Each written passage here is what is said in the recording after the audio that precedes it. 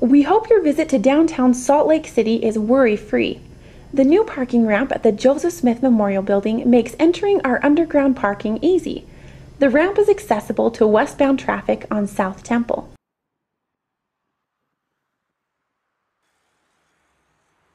Whether traveling from State Street or further east, turn westbound onto South Temple.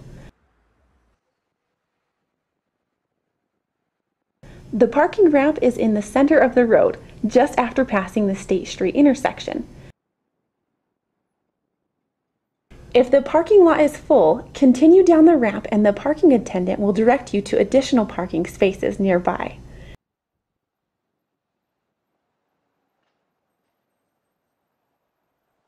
At the bottom of the ramp, turn right and pass the attendant booth.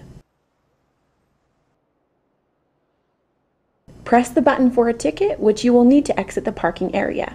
We hope you enjoy your visit to Temple Square.